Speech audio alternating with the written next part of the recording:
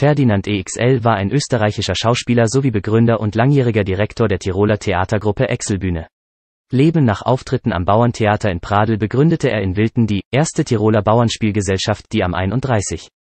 März 1902 mit Ludwig Anzengrubers Pfarrer von Kirchfeld im österreichischen Hof ihre erste Vorstellung gab und in der Folge als Exelbühne mit der Aufführung von Volks- und Bauernstücken, unter anderem von Anzengruber, Karl Schönherr, Franz Kranewitter und Rudolf Brix, große Bekanntheit erlangte. Das Theater übersiedelte später nach Innsbruck, wo Ferdinand EXL von 1915 bis 1920 das Innsbrucker Stadttheater leitete und 1919 die Innsbrucker Kammerspiele gründete, die er bis 1922 leitete. Von 1927 bis 1931 war EXL künstlerischer Leiter des Wiener Raimund Theaters. Vereinzelt trat er auch in volkstümlichen Filmproduktionen auf, zumeist mit anderen Ensemblemitgliedern der Exelbühne, wie 1921 in Glaube und Heimat, 1939 in der Feuerteufel und 1941 in der Meineidbauer.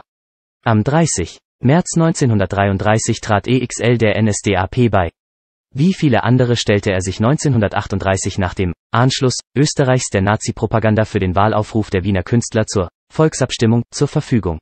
Im Dritten Reich hochgeschätzt, feierte das Ensemble Erfolge als Wehrmachtsbühne und spielte unter anderem 1944 für die SS-Wachmannschaft im Konzentrationslager Auschwitz. Nach seinem Tod 1942 übernahmen seine Frau Anna EXL und die gemeinsame Tochter Ilse die Leitung der Exelbühne, die 1956 aufgelöst wurde. Ehrungen 1942 wurde Ferdinand EXL Ehrenbürger der Stadt Innsbruck. 1962 wurde die Exelgasse im Innsbrucker Stadtteil Höttinger Au nach ihm benannt. In Wörgl erinnert die Ferdinand-Texel-Straße an ihn.